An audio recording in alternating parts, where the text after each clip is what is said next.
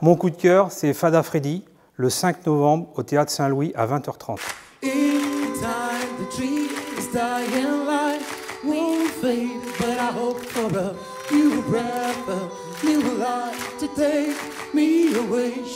C'est quelqu'un qui, qui chante, c'est que de la voix avec des choristes. Et il fait de la soul, gospel et mélodie africaine.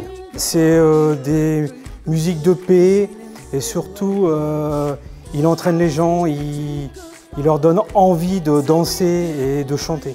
Bah, c'est un artiste qui a commencé avec euh, des premières parties d'autres artistes et après il s'est lancé il y a deux ans en solo pour faire sa propre musique, son propre thème qu'il voulait, surtout avec ses choristes, parce qu'il n'y a pas d'instrument, il n'y a rien du tout.